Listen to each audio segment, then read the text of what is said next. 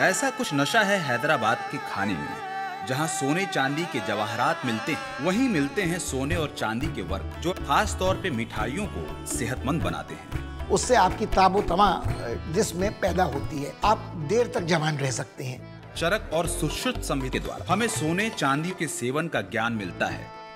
राजा रसोई और अन्य कहानियाँ season two.